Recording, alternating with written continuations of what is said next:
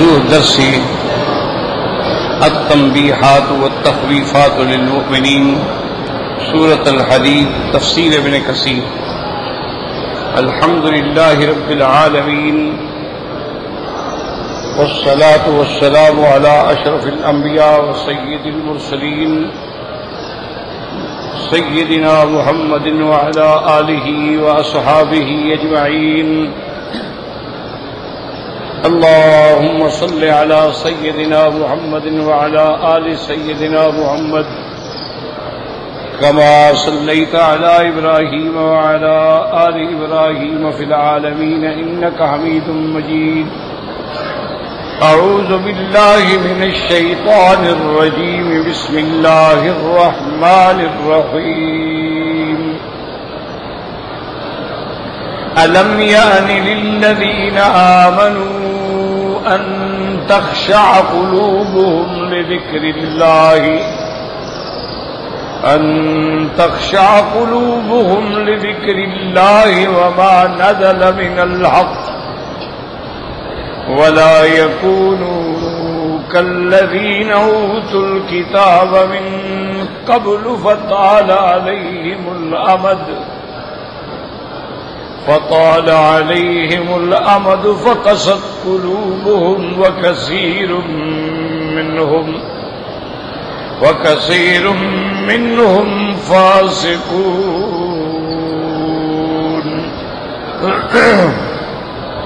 اعلموا أن الله يحيي الأرض بعد موتها. قد بينا لكم الآيات لعلكم تعقلون. قال المؤلف والمفسر رحمه الله تعالى أدام النفع بعلومه وعلومكم في الدارين، آمين. إلى أن قال يقول تعالى أما آن للمؤمنين أن تخشى قلوبهم لذكر الله أي تلين عند الذكر والموئزة وسماع القرآن وتفهمه وتنقاد له وتسمع له وتطيعه اللہ تبارک و تعالی ان آیات میں ارشاد فرماتی ہے کہ اما آنا کیا مومنوں کے لیے وہ وقت میاں قریب آیا؟ انتخشا قلوبہم لذکر اللہ اللہ کے ذکر کے لیے ان کے دل جو ہیں وہ نلم ہو جائیں۔ اے تلین ان ذکر جب اللہ کا ذکر ہو تو ان میں رکت ہو۔ معزت کے وقت میں اور قرآن کے سننے کے وقت میں۔ جیسے اللہ نے مومنوں کی صفت بیان فرمائی ہے ویزات علیہم آیات زادت ہم ایمانا کہ جب مومنوں پہ اللہ کے قرآن کی آیات پڑھی جاتی ہیں تو ان کا ایمان بڑھ جاتا ہے۔ تو اب اللہ باغ فرماتے ہیں کہ کیا وہ وقت نہیں آیا کہ قرآن کو سنیں، سمجھیں اور قرآن کے تابع ہو جائیں اور اطاعت کریں اللہ کے احکام کی یعنی وقت آ چکا ہے۔ اب کس بات کا انتظار کر رہے ہو؟ قال عبداللہ ابن المبارک رحمہ اللہ تعالی حدثنا صالح المری ان قطادہ ابن عباس رضی اللہ تعالی عنہ انه قال ان الله استفتح قلوب المؤمنين فآتبهم على راس سراس عشرة من نزول القرآن فقال حضرت عبداللہ ابن المبارک رحمت اللہ علیہ، حضرت عبداللہ ابن عباس کا قول نقل فرماتے ہیں کہ اللہ تبارک و تعالی نے مومنین کو تقریباً قرآن کے نازل ہونے کے تیرہ سال بعد یہ تنبیہ آ گئی کہ بھئی تمہارے دل جو ہیں وہ کیوں بجھ گئے ہیں؟ ان کے اندر وہ کیوں رکت پیدا نہیں ہوتی؟ ان کے اندر وہ نرمی کیوں پیدا نہیں ہوتی؟ دلوں کے اندر کیوں شدت آ رہی ہے اور کساوت آ رہی ہے؟ چونکہ مومنوں کے دل جو ہوتے ہیں، جب اللہ کا قرآن پڑھا جاتا ہے، ان پہ ایک خصوصی کیفیت تاری ہو جاتی جیسی اللہ نے فرمایا سمعوا ما انزل الى الرسول ترى اعينهم تفیض من الدمع کہ جب وہ سنتے ہیں تو ان کی آنکھیں جو ہیں آنسوں سے بہ رہی ہوتی ہیں۔ تو دل نرم ہوتا ہے، تب آنسو نکلتے ہیں۔ اگر دل میں سخت کساوت آ جائے، دل میں زنگ لگ جائے، تو پھر آدمی میں رکت پیدا نہیں ہوتی ہے۔ ورنہ قرآن تو ایک ایسی چیز ہے نا کہ جب اس کو مومن سنتا ہے تو صاف بات ہے کہ اس کے دل کی کیفیتیں تبدیل ہو جاتی ہیں۔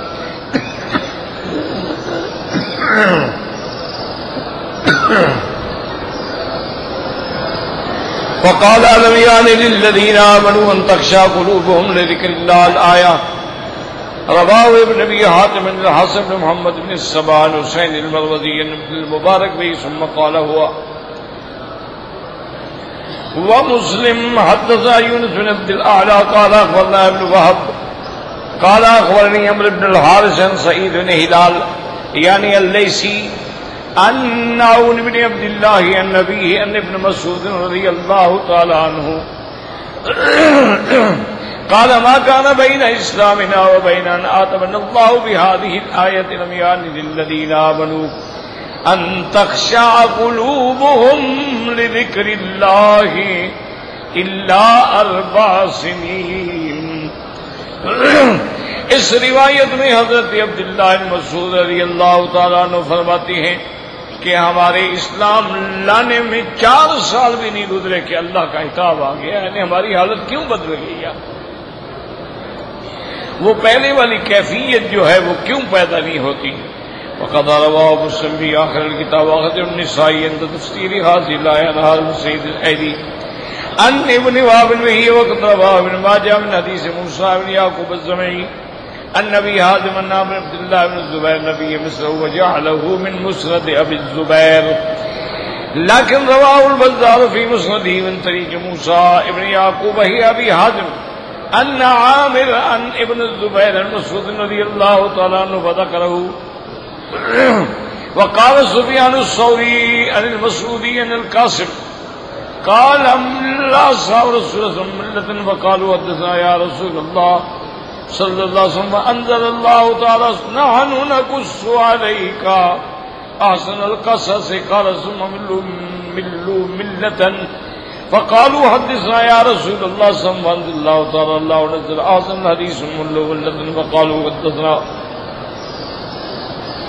یا رسول اللہ صلی اللہ علیہ وسلم اللہ تعالی. علم یعنی الذین آمنوا، ان تخشا قلوبهم، لیکن وقال قتادہ. اب اس روایت میں آتا ہے، حضرت قصر روایت فرماتی ہیں کہ اصحاب رسول اللہ صلی اللہ علیہ وسلم یعنی کچھ وقت گزر گیا اور ان میں جیسے ہوتا نا کہ آدمی ملول ہو جاتا ہے، تو انہوں نے کہا، یا رسول اللہ، ہمیں کچھ قرآن سنائے ہمارے دلوں کی کیفیت کہی تو اللہ باغ نے سورت یوسف نادر کی نہ نقص والے کا آسن القصص۔ اس کے بعد پھر کیفیت اداسی کی ہوئی، انہوں نے کہا، یا رسول اللہ، ہمیں سنائے تو اللہ نے آل قرآن نظر کی، اللہ نظر حدیث کتاب المشابہن پھر اس کے بعد ان کا دل بھرا تو انہوں نے کہا، یا رسول اللہ، ہمیں سنائیں۔ تو اللہ نے یہ تمبی نازل کر دی کہ ابھی بھی وقت نہیں آیا کہ تمہارے دل جو ہے وہ جھک جائیں اور تمہارے دل جو ہے وہ نرم ہو جائیں۔ ذکر لنا ان شداد نے اس کا نبی رسول اللہ سن قال ان اول ما يرفع من الناس الخشوع حضرت شداد بن اوس رضی اللہ تعالی عنہ سے روایت ہے کہ حضور پاک رحمت دو عالم صلی اللہ علیہ وسلم نے فرمایا، سب سے پہلے لوگوں کے دل سے وہ خوشبو جو ہے وہ اٹھ جائے گا۔ خوشبو نہیں رہے گا، خشیت نہیں رہے گی۔ وہ جو قرآن پڑھنے پر آدمی پر اثرات مرتب ہوتے ہیں، وہ نہیں رہیں گے۔ بس ایک کراط ہوگی، زبان سے پڑھ دیں گے۔ اور لا یتجاوز حناجرہم، وہ ان کے حلقوں سے نیچے بھی نہیں اترے۔ کیوں؟ جب عمل نہ ہو قرآن پر، جب اللہ کے احکام کا حکم برداری نہ ہو صرف منزل کے طور پہ ہو۔ جی میں نے منزل پڑھنی ہے، منزل ضرور پڑھ۔ عمل کرنا ہے کہ نہیں کرنا ہے؟ اور نہ سمجھ ہے، نہ فہم ہے، نہ عمل ہے۔ تو اس پڑھنے کا کیا فائدہ ہوگا؟ اسی لیے حدیث مبارک میں آتا ہے، میرے آقا نے فرمایا اور احمد دو جہاں نے فرمایا کہ رب قاری القرآن یقرا القرآن ول قرآن او کما قال نبی صلی اللہ علیہ وسلم۔ حضور نے فرمایا ایسے بھی لوگ ہیں جو قرآن پڑھ رہے ہوں گے اور قرآن ان کو لانت کر رہا ہو۔ صحابہ حیران ہو گئے، انہوں نے کہا، یا رسول اللہ صلی اللہ علیہ وسلم قرآن پڑھنے سے تو اللہ کی رحمت آتی ہے۔ تو یہ بات ہمیں سمجھ نہیں آئی کہ قرآن پڑھ رہے ہیں اور قرآن آپ نے فرمایا دیکھو، قرآن مقدس میں یہ ہے کہ لعنت اللہ الکاذبین، جھوٹے پہ اللہ کی لعنت یہ ہے۔ ان نے کہا، انہوں نے کہا جب قرآن پڑھ رہا ہے، جھوٹ بھی بولتا ہے تو لعنت قرآن کر رہا ہے کہ نہیں کر رہا ہے؟ قرآن میں ہے کہ لعنت اللہ علی الظالمین، اللہ ظلم کرنے والوں پہ لعنت فرماتے ہیں۔ وہ ظالم ہے ظلم بھی کرتا ہے، قرآن پڑھ رہا ہے، تو قرآن تو اس کو لعنت کر رہا ہے۔ اسی لیے خود قرآن کہتا ہے یہ ذل بھی کثیرن و یہ بھی کثیرا۔ اس قرآن سے کئی گمراہ ہو گئے اور کئی لوگوں کو ہدایت مل گئی۔ یعنی اگر آپ نے عمل نہیں کیا ہے تو تو گمراہی ہو گئی۔ وہ تو اور نافرمانی ہو گئی۔ اسی لیے قرآن کی شان ہے میرے آقا نے فرمایا، ان اللہ يرفع بهذا الكتاب اقواما ويذع بها آخرین۔ اللہ اس کتاب سے قوموں کو اونچا کر دیں گے اور بعض قوموں کو ذلت میں ڈال دیں گے۔ یعنی جنہوں نے قرآن کو پڑھا اور قرآن کو پکڑ لیا اور قرآن پہ عمل کیا، اللہ ان کو اونچا کر دے۔ اسی لیے ایک دفعہ گورنر مکہ جو ہیں، اس زمانے خلافت سیدنا عمر میں رضی اللہ عنہ وہ آئے مدینہ منورہ، حضرت عمر نے بلایا۔ تو حضرت عمر رضی اللہ تعالی عنہ نے پوچھا کہ من والی تعالی اہل مکہ تھا؟ تم تو آ گئے لیکن مکے میں اپنا نائب گورنر کس کو بنایا؟ تو انہوں نے کہا کہ امیر المومنین ابن ابزا ابن ابزا کو میں نے بنایا ہے۔ انہوں نے کہا، ابن ابزا من الموالی، وہ تو غلام قوم میں سے ہے، وہ تو موالی میں سے ہے۔ تو ہم نے موالی میں سے ایک بندے کو مکے والوں کا حاکم بنا دیا ہے۔ تمہیں پتہ نہیں مکے والے کون ہیں؟ اہل مکہ تو اہل اللہ ہو تو اللہ کے گھر والے ہیں۔ جو جس کے گھر میں رہتا ہے، اسی کے گھر والا ہوتا ہے نا۔ وہ اللہ کے گھر میں رہتے ہیں تو وہ تو اہل اللہ ہیں۔ حضرت نے عرض کیا، اس نے کہا، امیر المومنین، آپ ناراض نہ ہوں۔ میرے معلومات میں اس وقت سب سے زیادہ قرآن جاننے والا، سمجھنے والا، بیان کرنے والا ابن ابزا ہے۔ تو حضرت عمر رو پڑے اور فرمایا، صدق رسول اللہ آپ نے فرمایا، میرے محبوب نے سچ کہا تھا۔ دیکھو، آج اللہ نے غلاموں کو قرآن کی وجہ سے اونچا کر دیا۔ کہ جو غلام تھے، آج اونچے ہو گئے۔ تو اس لیے ہمیشہ یاد رکھیں کہ قرآن پاک پڑھنے سے اس میں کوئی شک نہیں ہے۔ ہم اگر صرف تلاوت بھی کرتے ہیں تو ہمیں ثواب ملتا ہے۔ لیکن اگر تلاوت کے ساتھ سمجھ بھی رہے ہوں، سمجھ کے ساتھ عمل بھی ہو تو نجات تو تب ہوگی۔ اگر پڑھ بھی رہے ہیں اور سمجھ بھی رہے ہیں اور پھر مخالفت کر رہے ہیں اب دیکھو نا جی قرآن پاک نے کہہ دیا کہ سود حرام ہے۔ اگر ہم قرآن بھی پڑھ رہے ہیں، سود بھی کھا رہے ہیں۔ سودی کاروبار بھی کر رہے ہیں، بڑی بڑی ملیں بھی چل رہی ہیں اور سارا معاملہ سود پہ ہے۔ قرآن بھی ماشاءاللہ منزل پڑھتے ہیں جی فجر کی نماز کے بعد۔ وہ جی ایک پارا منزل ہے ان کی۔ ماشاءاللہ منزل کس منزل پہ لے جائے گی تمہیں؟ قرآن بھی ہم پڑھ رہے ہیں اور رشوت بھی کھا رہے ہیں۔ قرآن بھی ہم پڑھ رہے ہیں اور نعوذ باللہ ہم سائے کی لڑکیوں پہ نظر بھی رکھے ہوئے ہیں۔ قرآن بھی پڑھ رہے ہیں اور بے پردگی بھی کر رہے ہیں۔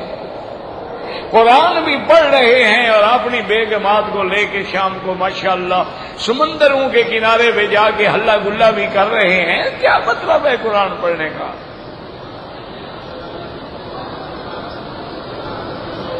یعنی اللہ سے بھی ڈرامہ ہے کہ چوبیس گھنٹے فیشن میں اور آج آیت کریمہ کا ختم ہے، دوپٹے اوڑھ کے اور سفید چادر بچھا کے بیٹھ جائیں گی جی آیت کریمہ۔ لا الہ الا لا الہ الا اللہ۔ نہیں جانتا تمہارے دل کے اندر کیا ہے۔ اللہ کے ساتھ فراڈ کر رہی ہو خادی ہوں اللہ۔ وہ خادی ہو اللہ فرمانے تم اللہ کے ساتھ دھوکھا کرتے ہو۔ جب تم نماز ہی نہیں پڑھتے نہ نماز ہے، نہ روزہ ہے، نہ حج ہے، نہ زکات ہے، نہ حیا ہے، نہ شرم ہے، بال کھلے ہوئے ہیں، سر ننگا ہے، الگ اعلان چینل پہ بیٹھے ہیں، بکواس کر رہے ہیں۔ اور پھر کہتے ہیں ماشاء اللہ جی ہو جی ہم تو بالکل مسلمان اور پکے مسلمان ہیں۔ مسلمانوں کے ٹھائکا کو مولویوں نے لے رکھا ہے۔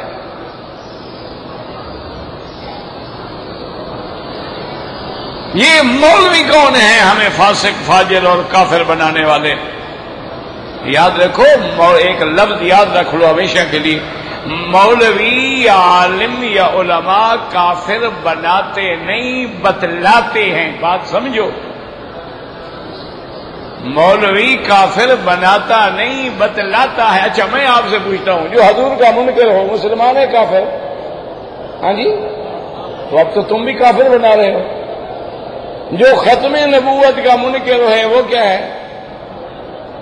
جو قرآن کا منکر ہے، جو موجزات محمد مصطفیٰ کا منکر ہے، جو حدیث کا منکر ہے، جو جنت جہنم کا منکر ہے، وہ کیا ہے؟ تو اب تم بھی کافر بنانا شروع ہو گئے، فیکٹری بن گئی کافروں کی۔ یاد رکھو، کوئی کسی کو کافر نہیں بناتا، بتلاتا ہے کہ اگر تمہارے اندر یہ اعمال آ گئے، تم کافر ہو۔ اگر یہ اعمال آ گئے، منافق ہو۔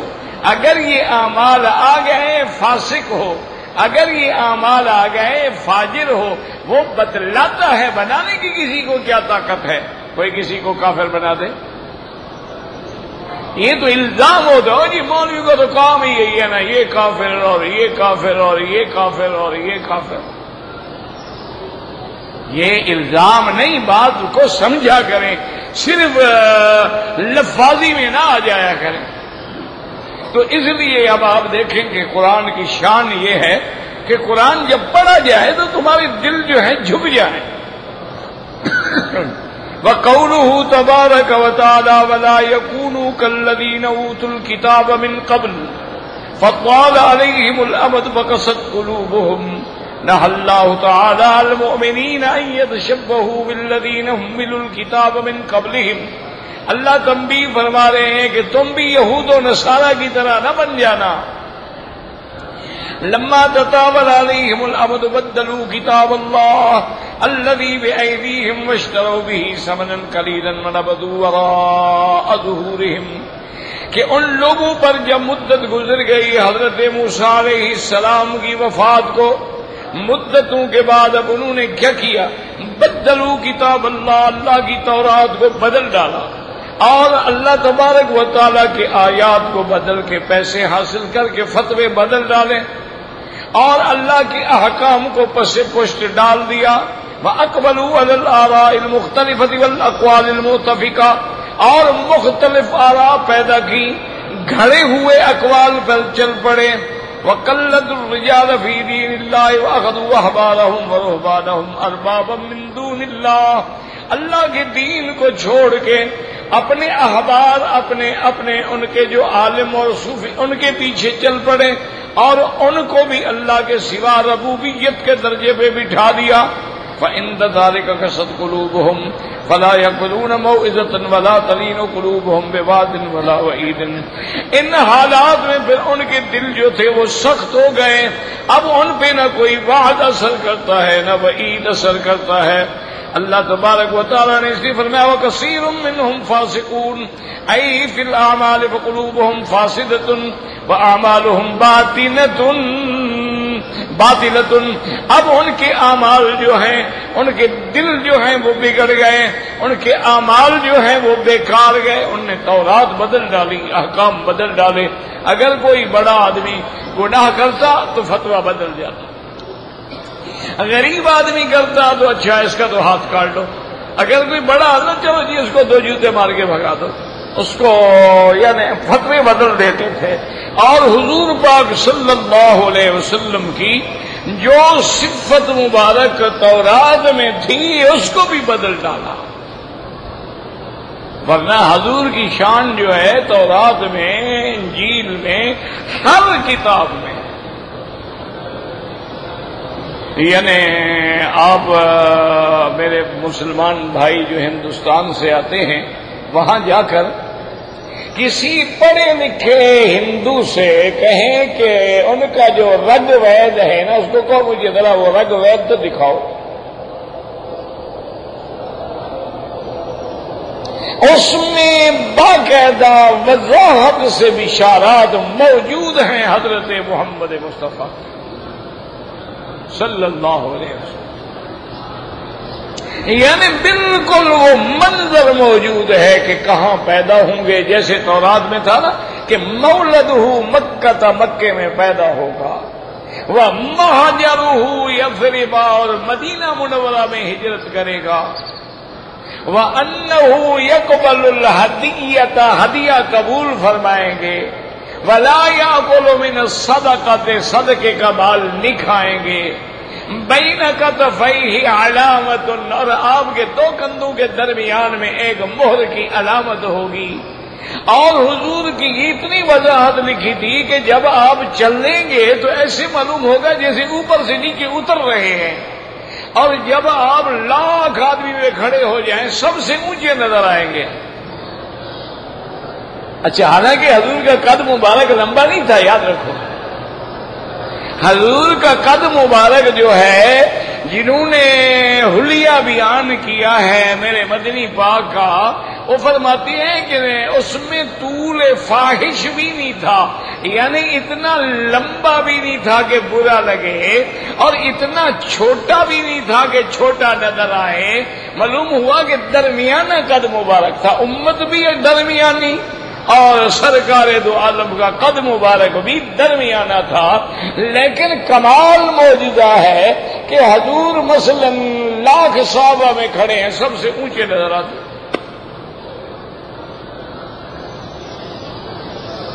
اور کمال یہ تھا کہ میرے سرکار کو اللہ نے ایسی موجزات عطا فرمائے تھے۔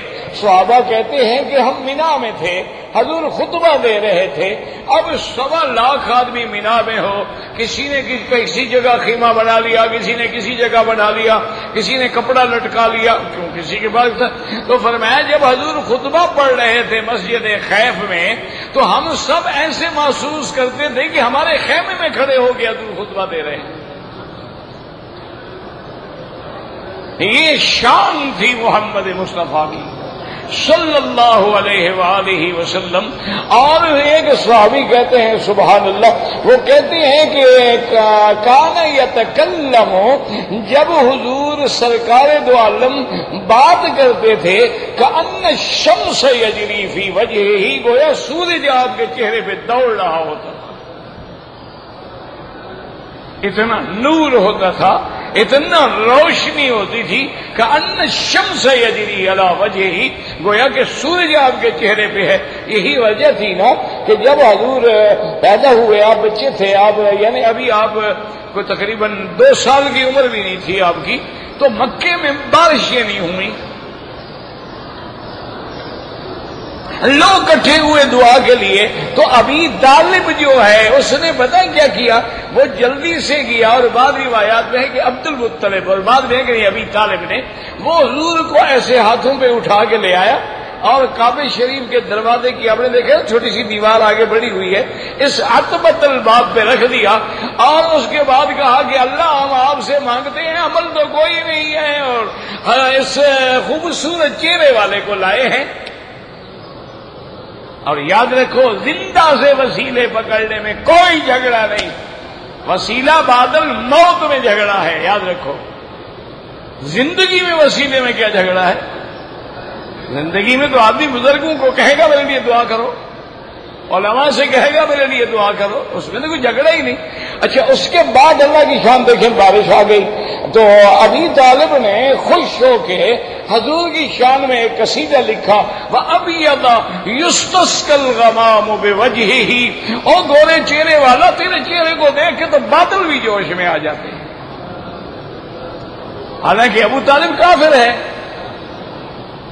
ابو طالب کافر تھا۔ مسلمان نہیں ہوا ہے، لیکن حضور کے یہ ساری چیزیں جو ہیں کتابوں میں موجود تھی علامات میں موجود تھی آج جو تورات بدل گئی، اس میں بھی صفت محمد مصطفیٰ موجود ہے۔ آج انجیل چار ہو گئے، ایک نہیں ہے۔ انجیل یو لوک لوکا ہے، انجیل مکوکس ہے، انجیل یوہنا ہے۔ چاروں کے اندر اب بھی حضور کی صفت موجود ہے۔ اور جو ہندو حضرات کے وید ہیں، ان میں بھی میرے مدنی محمد مصطفیٰ کی صفت موجود ہے۔ ان کو ماننا پڑے۔ اور بعض کتابوں میں ہندوؤں کے وید میں ہے۔ یہ بھی لکھا ہوا ہے۔ کہ جب مرنے کا وقت آئے تو وہ کہتے ہیں وہ ہندی زبان میں، اس کا معنی یہ ہوتا ہے کہ نبی کا کلمہ پڑھ لو ورنہ روح نہیں نکلے گی۔ ان کے ویدوں میں لکھا ہو، تم نے تو کام ہی نہیں کیا۔ نا ہمارا کام تو ہے نا لڑانا، جھگڑا، فلمیں، ڈرامے، فیشن، ڈیزائن۔ ہم نے دین کے لیے تو کوئی کام نہیں کیا۔ ہم نے تو اسلام کے لیے کوئی یہ تو اسلام مذہب حق ہے، وہ قائم رہے گا۔ اس کو دنیا کی کوئی طاقت مٹا نہیں سکتی ہے، ورنہ ہم نے تو کچھ نہیں کیا۔ جو کر رہے ہیں، ان پر اعتراض ضرور کیے۔ جو کوئی دین کی خدمت کر رہا ہے، اس پہ الزام ضرور لگائے ہیں۔ یہ وہابی ہے، یہ تبدیلی ہے، یہ فلان ہے۔ یہ فلان ہیں، یہ غلط ہیں، یہ بدعت، بابا تم صحیح کام شروع کر دو، غلط رک جائے گا۔ اعتراض کرنے کے بجائے تم صحیح کام شروع کر دو۔ یا ان کے ساتھ جا کے ان کو بتا دو یہ غلطی ہے۔ نہیں، جائیں گے اچھا اعتراض کون کرتا ہے جو کبھی نہیں جائے گا؟ اچھا مدرسے والے چندہ کھا جاتے ہیں جی یہ چندے میں چندے خور ہیں، چندہ اعتراض کون کرے جیسے کبھی ایک روپیہ بھی مدرسے کو چندہ نہیں دیا ہوگا۔ جو دے گا وہ اعتراض کیوں کرے؟ اعتراض ہمیشہ وہ کرے گا جو اپنا پیسہ طوائفوں پہ لٹائے گا، مجرے میں لٹائے گا، اپنا پیسہ جو ہے زنا میں، شراب میں لٹائے گا۔ کیا مدرسے مولوی اتنی چندہ کھا کھا کے مرتے ہیں، پلتے ہیں۔ ہر وقت چندہ وہ چندہ تو اللہ کے نبی نے بھی کیا ہے۔ چندہ تو حضور پاک نے بھی کیا ہے۔ صحابہ سے حضور نے چندہ مانگا ہے۔ مانا یہ ہوتا ہے کہ اس کو نجائز استعمال نہ کرو، یہ تو نہیں کہ چندہ کرنا حرام ہے، چندے سے تو سارے کام چلتے ہیں۔ تو اس لیے اللہ پاک فرماتے ہیں کہ ان کے دل جو تھے نا، سخت ہو گئے۔ وہ اپنے احباب و رحبان کے پیچھے چل پڑے، ان کو رب بنا لیا۔ وكثير منهم فاسقون۔ فبما نقضهم ميثاقهم لعناهم وجعلنا قلوبهم قاسية يحرفون الكلم عن مواضعه ونسوا حظا مما ذكروا به چونکہ انہوں نے اللہ سے عہد توڑ ڈالا تو اللہ نے بھی لانت کر دی۔ اس لانت کی وجہ سے وہ ان کا عالم یہ تھا کہ اللہ کی کتابوں کے کلمات کو بدل دیتے تھے۔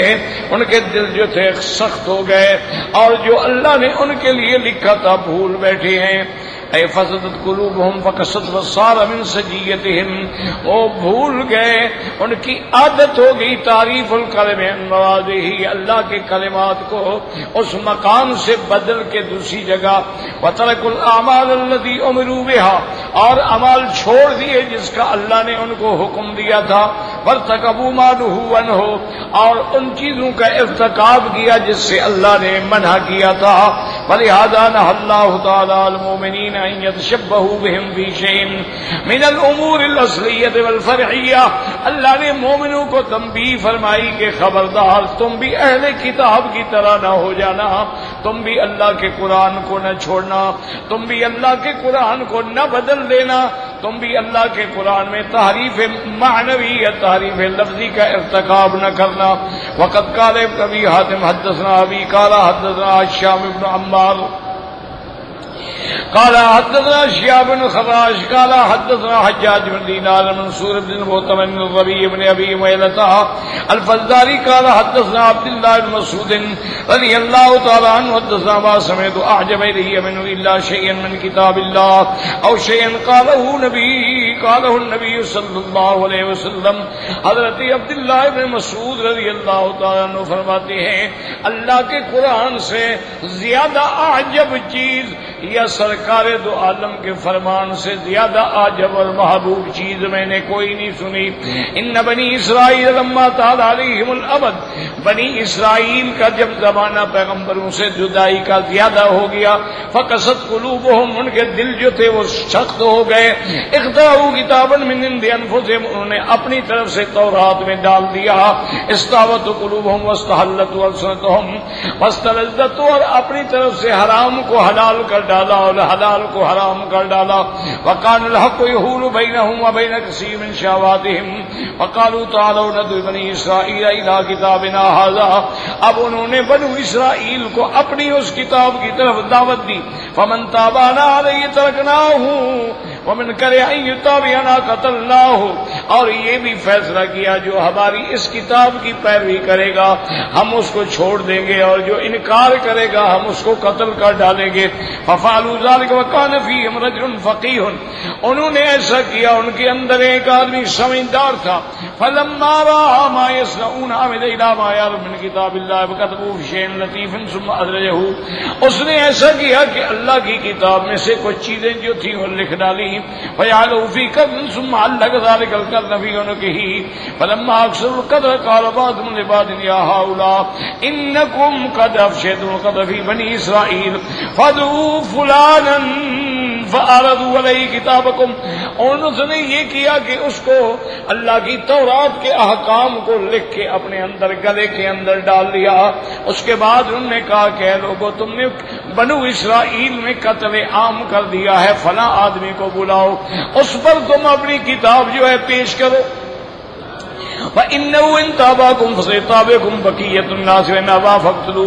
اگر وہ بندہ تمہاری اتباع کر لے تو سارے لوگ تمہارے پیچھے چل پڑیں گے۔ اگر وہ انکار کرے تو اس کو قتل کر دو۔ فضر فلان دار کل فقی فقالوا انو من معافی کتاب هذا قال معافی ہی آرزو علیہ آرزو علیہ اس پر انہوں نے اپنی لکھی ہوئی کتاب پیش کی۔ اس نے کہا، پڑھ کے سناؤ اس کے اندر کیا ہے۔ فارزو علیہ الاخر ثم قالوا أنؤمن بهذا. قال نعم، آمنت بما في هذا وأشار بيدي إلى القرن فتركوه اب جب اس کو کہا کہ کیا تم ہماری کتاب پہ ایمان لاتے ہو؟ اور نے کہا ہاں میں اس پہ ایمان لاتا ہوں۔ وہ اشارہ کر رہا تھا جو گلے میں لٹکایا ہوا تھا۔ وہ تو اصل کتاب تھی نا۔ تو انہوں نے سمجھا ہماری کتاب کو مان رہا ہے۔ تو انہوں نے چھوڑ دیا، اس کو قتل نہ کیا۔ فلما وجدوه معلقا ذلك فيما يرى من كتاب الله وقال بعض بعض يا هؤلاء ما كنا نسمع هذا فتنة فافترقت بنو وسبعين اب اس کے مرنے کے بعد جب یہ راز کھلا، اب بنی اسرائیل میں پھر اختلاف ہوا، تو وہ تقریباً اس دور میں جو تھے تقریباً بہتر فرقہ بن گیا. خیر ملت صاحب دل کرن اور ایک وہ جماعت تھی جو اس حق والے بندے کے تابع ہو گئی. کالے بن من بکے تم بکے من بکے من کم انتر امور ان تم کی رونا لا تستطيعون لها خيرا فب حسب المر من کو یاد اللہ من قلبی انہو لہا کارہن. حضرت ابن مسعود نے فرمایا کہ اے لوگوں وقت آئے گا زمان زمانہ آئے گا تم ایسی ایسی چیزیں دیکھو گے جو بالکل منقرات ہوں گی۔ اگر کچھ بھی نہ کر سکو تو ان کو غلط کو غلط سمجھنا یعنی دل میں ان کی برائی کرنا اور ان باتوں سے دور رہنا۔ تو یہ باتیں جو تھی بنو اسرائیل میں تھیں اور اب ہمارے اندر بھی آ گئی پروا ابو جعفر التبری حدثنا ابن حمید قال حدثنا جرين مريد نبي ماشر ابراهيم، قال جاء ادريس بن يركوب الى ابن مسعود وقال يا ابا عبد الله، هلك من لم يعرف المعروف ينهى عن المنكر. فقال عبد الله، هلك من لم يعرف قلبه معروف عن ينكر قلبه منكرا. ادریس آیا اس نے کہا کہ حضرت عبداللہ ابن مسعود سے کہا کہ یا عبداللہ وہ لوگ ہلاک ہو گئے جو بھلائی کا حکم نہیں کرتے اور برائی سے منع نہیں کرتے۔ حضرت عبداللہ نے فرمایا ہاں وہ بھی ہلاک ہو گئے جو دل میں معروف کو معروف نہیں سمجھتے اور منکر کو منکر نہیں سمجھتے۔ ان بنی اسرائیل لما تعالی علیہم الابد وقصت علیہم قلوبهم اختروا کتاب بین ایدیہم وارجلہم استحبته قلوبهم واستحلته السنتهم بنو اسرائیل نے خود کتاب بنا ڈالی۔ وقالوا نعرض من بني اسرائيل هذا الكتاب. فمن امن به تركناه ومن كفر به قتلناه وقال رجال منهم کتاب اللہ فی کرن سبجال کرنا بھائی بین صندوقی ہے۔ اس نے اندر کرن لٹکایا، اس کے اندر صحیح قرآن لکھا تھا۔ فلما کی تو نے ادا قال آمنت به ويومئذ القران بين صندوقه وما لي لا اقول هذا الكتاب خير من المدي ومن ملة صاحب القرن۔ قوله تعالى اعلموا ان الله يحيي الارض بعد موتها۔ قد بینا لکم الآیات لعلکم تاکلون فی اشارت الى ان اللہ تعالی اس میں اشارہ ہے کہ جیسے اللہ مردہ زمینوں کو زندہ کر دیتے ہیں مردہ دلوں کو بھی قرآن سے زندہ کر دیتے ہیں۔ بعد قسمت فرج القروب بعد شدتیا مصیبتوں کے بعد شدت کو کھول دیتے ہیں۔ فکما یحیی الارض المیتۃ المجدبۃ الحامدۃ جیسے زمین ہے بنجر ہے خشک پڑی ہوئی ہے۔ اس پہ بارش بھیج دیتی ہیں۔ بالغیسل حتان البابل بارش متواتر برس رہی ہے۔ کتال کی دل قلوب القاصیت ابراہیم القرآن۔ اسی طرح اللہ دلوں کی مردگی کو بھی قرآن کے دلائل سے زندہ کر دیتے ہیں۔ واصل جب دلوں میں اندھیرا تھا تو قرآن کی روشنی پھر اندر داخل ہوتی ہے۔ فسبحان الهادي لمن يشاء بعد الزلال. اللہ تبارک و تعالیٰ کی ذات ہادی ہے، وہ گمراہی کے بعد بھی جس کو چاہیں ہدایت دے دیں۔ بل مزید اراد بادل کمال الذي هو لما يشاء فعال۔ وهو الحكيم العدل في جميع الفعال۔ اللطيف الخبير الكبير المتعال۔ اس کی شان ہے، وہ جس کو چاہے ہدایت دے۔ گمراہوں کو ہدایت عطا فرما دے۔ کیونکہ وہ جو چاہیں، وہ حکمت والے ہیں، وہ عدل والے ہیں۔ اس کا ہر حکم، اس کا ہر عمل جو ہے وہ عدل ہے، انصاف ہے، وہ مہربان ہیں، وہ جاننے والے ہیں، وہ سب سے متعالی ہیں۔ اللہ تبارک و تعالی جس کو چاہتے ہیں ہدایت دیتے ہیں اور جس کو چاہتے ہیں گمراہ کر دیتے ہیں اللہ عالم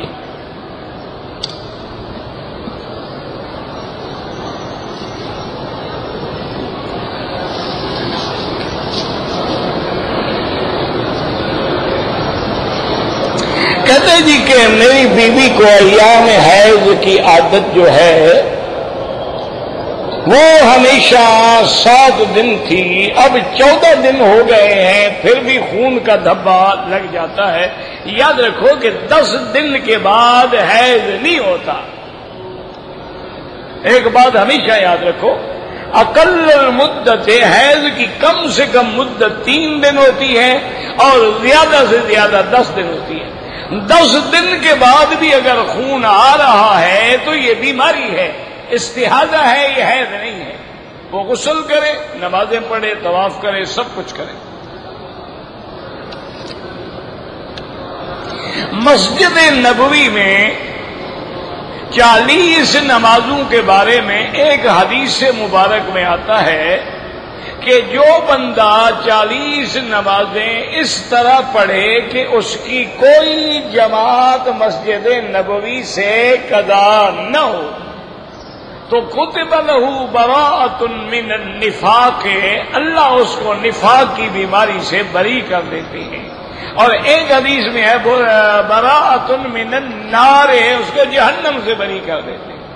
حدیث ضعیف ہے لیکن یاد رکھو، فضائل اعمال میں ضعیف حدیث جو ہے، وہ محدثین کے نزدیک حجت ہوتی ہے۔ یاد رکھو، ایک ہوتے ہیں عقائد، ایک ہوتے ہیں احکام، ایک ہوتے ہیں فضائل۔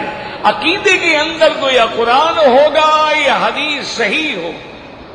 احکام میں بھی حدیث صحیح ہوگی، لیکن فضائل کے اندر ضعیف حدیث بھی قابل حجت ہوتی۔ ہے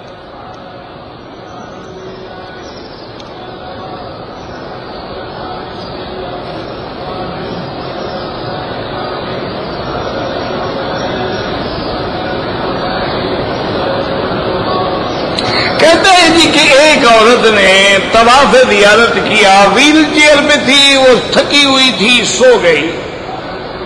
اس، اسی حالت میں اس نے طواف کر لیا پھر اٹھ کے جب بیدار ہو گئی تو پھر وضو نہیں کیا، لیکن طواف دوبارہ بھی کر لیا۔ تو طواف تو اس کا ہو گیا۔ طواف زیارت تو اس کا ادا ہو گیا، حج بھی مکمل ہو گیا، لیکن دم دے گی۔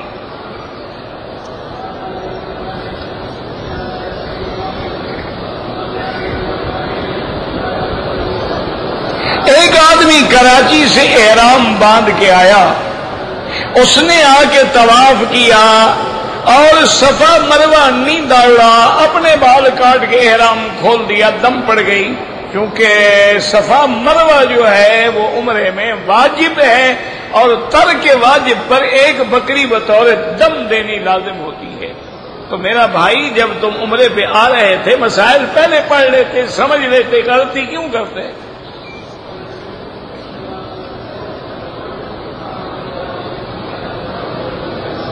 پتہ نہیں کیا ان لری فرد آنے کر قرآن ٹھیک ہے تم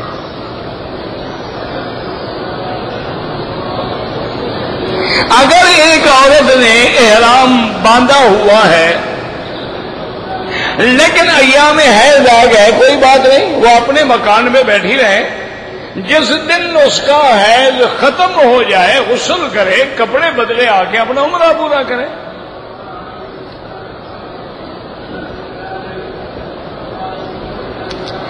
اگر میں نے ریاض سے احرام باندھا تھا لیکن وہ چپل جو لیے تھے وہ گم ہو گئے تو میں نے بوٹ پہنے رکھے، کوئی بات نہیں۔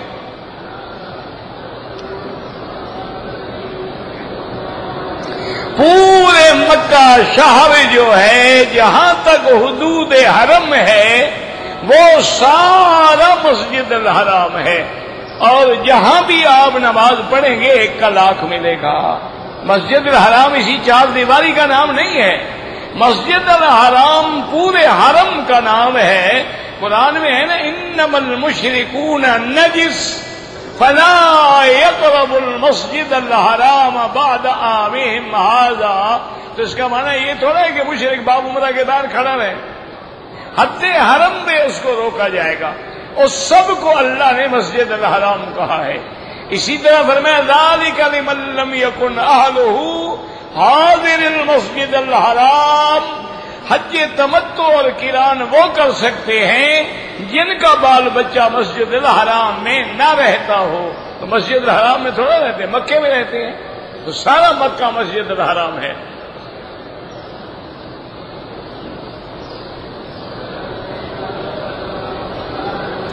کہتے جی کہ ایک آدمی نے جمعہ میں غلطی ہوئی۔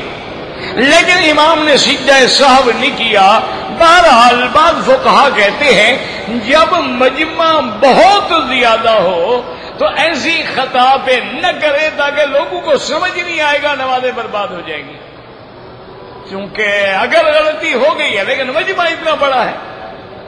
تو اس لیے اگر نہیں کیا، نماز پھر بھی ہو جائے گا لیکن بہتر یہ ہے کہ نماز لوٹاؤ۔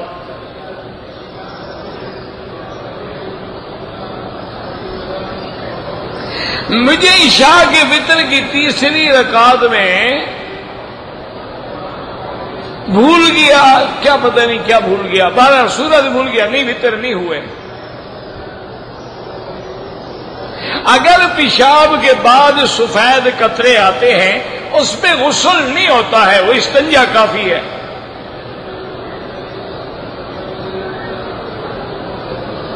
کبھی کبھی نماز میں ہم تشہد پڑھ رہے ہوتے ہیں، درود پڑھ رہے ہوتے ہیں۔ ابھی ہماری دعا پوری نہیں ہوتی کہ امام سلام پھیر دیتے، ہم بھی امام کے ساتھ سلام پھیریں گے۔ ہم امام کے تابع ہیں۔ یہی تو ہم کہتے ہیں کہ امام کے بغیر گزارا نہیں۔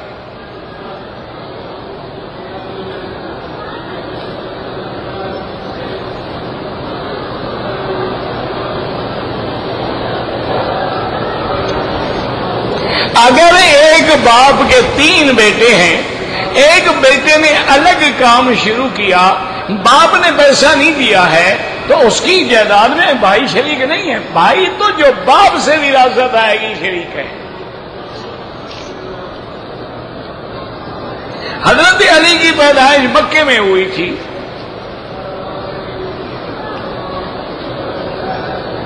والدہ کی طبی اللہ پاک ہر بیمار کو شفا دے۔ اگر صفا مروا سے شروع کرو، ادا نہیں ہوگی، دوبارہ کرو، چونکہ تو قرآن ہے، ان صفا ول مروا من شعائر اللہ.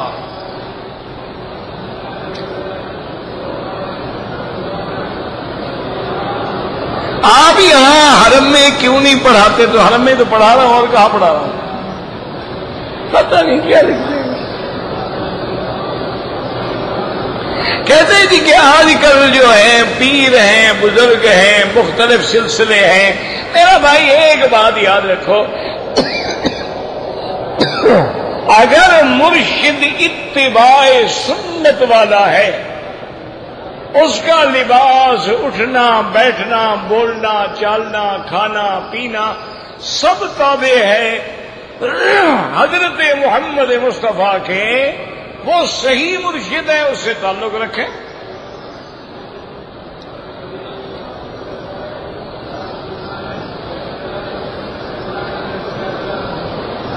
اگر ایک آدمی نے عمرے میں طواف بھی کر لیا، صفا مروا بھی دوڑ لی، سر کے بال نہیں مڈائے تھے کہ مونچھے بنا لی اگر تھوڑے بال کاٹے ہیں تو دو چار ریال خیرات کر دے۔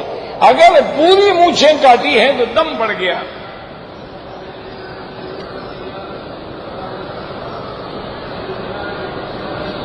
اللہ تبارک و تعالیٰ سے دعا کرے، میرے بچے تو ہوتے ہیں لیکن فوت ہو جاتے ہیں۔ اللہ آپ کو طول العمر اولاد کا فرمائے۔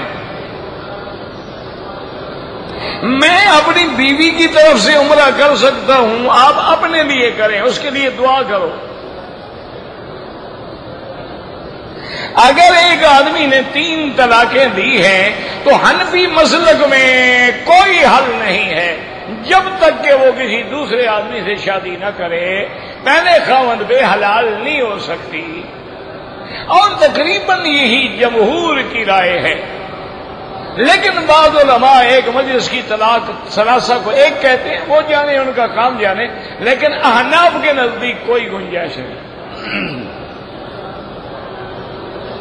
حرم پاک میں جوتے تبدیل ہو جاتے ہیں، لفافے میں بند کر کے اپنے پاس رکھو، کبھی تبدیل نہیں ہوں گے۔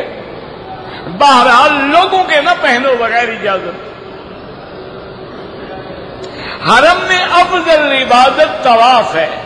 اگر طواف نہ کر سکو تو پھر نفل پڑھنا ہے۔ وہ بھی نہ کر سکو تو بیٹھ کے یاد کرتے رہو، قرآن پڑھتے رہو۔ حرم کے اندر تصویر لینا، اندر لو یا باہر لو، تصویر لینے پہ لانت ہے۔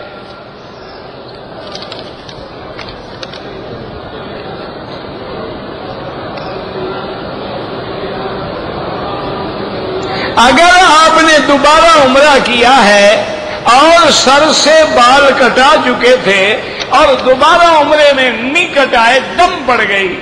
بال ہوں یا نہ ہوں، اس طرح پھروانا پڑے گا۔ اس طرح پھرواؤ، جب تک نہیں پھرواؤ گے، آپ احرام میں ہیں۔ احرام چادروں کا نام نہیں ہوتا۔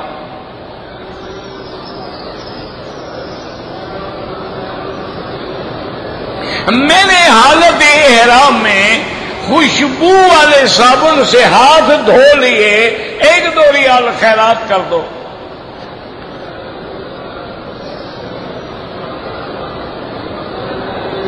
ہم مکہ سے مدینہ منورہ گئے، ہمارا سامان نہیں آیا تھا، ہم نے واپسی پہ احرام نہیں باندھا، عمرہ کرو اور دم بھی ادا کرو، یا فوراً میکات پہ جا کے عمرہ کر لو یعنی مدینہ شریف دوبارہ چلے جاؤ، یا طائف چلے جاؤ، عمرہ کر لو تو دم نہیں پڑے گا۔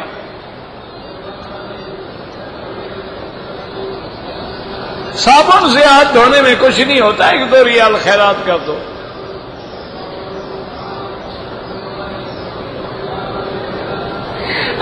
صبح کی نماز فرض جماعت کے ساتھ میں نے پڑھ لی۔ دو رکعت سنت جو تھی وہ میں نے نماز کے بعد پڑھی ہے۔ بالکل ٹھیک ہے، کوئی بات نہیں۔ افضل یہ ہے کہ سورج نکلنے کے بعد پڑھو، لیکن اگر کوئی فجر کے بعد بھی پڑھ لے تو ادا ہو جاتی ہے۔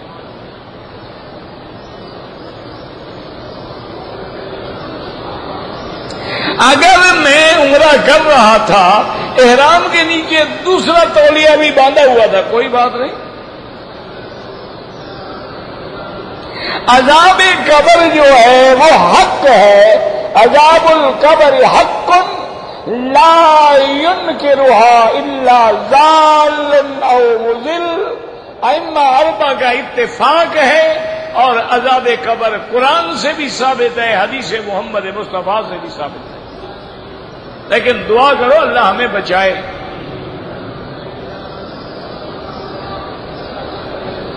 اگر طواف کے پہلے تین چکروں میں وضو ٹوٹ گیا، جب بھی ٹوٹ جائے چھوڑ دو، وضو کرو، پھر پورا کرو۔ کہتے جی کہ زہر اثر میں متاف خالی ہوتا ہے، لیکن امام کے پیچھے بھی صفیں موجود ہوتی ہیں۔ اور جو دور ہے ان کو بھی صفے نظر آ رہی ہوتی ہے تو نماز ہو جاتی ہے افضل یہ ہے کہ اتصال ہو۔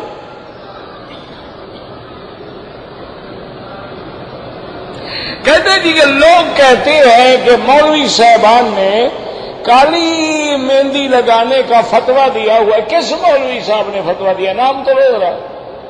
ایسے اپنی بیوی کو خوش کرنے کے لیے بدنام مولویوں کو کر رہے ہو۔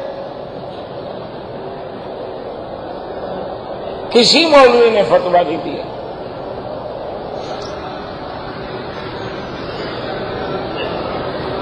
مسجد عائشہ سے عمرہ کرنا بالکل امام ابو حنیفہ رحمت اللہ علیہ اور امام شافی رحمت اللہ علیہ کے نزدیک سو عمرہ بھی کرو تو جائز ہے۔ لیکن حنابلہ رحمہ اللہ کہتے ہیں، اگر عذر تھا ضرورت تھی نہیں کر سکا تو کرے ورنہ نہ کرے۔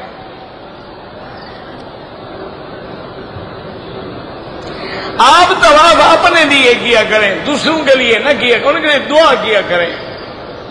طواف جب ہم ختم کریں گے، آخری اشارہ کریں گے، تو پھر بسم اللہ نہیں کہیں گے، بس اللہ اکبر ولی اللہ بسم اللہ اللہ اکبر تو شروع میں ہوتا ہے بسم اللہ ہمیشہ شروع یہ نہیں کہ ہر دفعہ بسم اللہ اللہ اکبر میں نے دبئی سے آیا ہوں دو دن کے لیے میری بیوی حیض کی حالت میں ہے عمرہ نہیں کیا دم پڑ گئی لازم عمرہ بھی اس کو قضا کرنا پڑے گا ربنا تقبل منا انك انت السميع العليم اللهم اجعل لنا وللمسلمين من كل هم فرجا ومن كل ضيق مخرجا ومن كل بلاء عافيه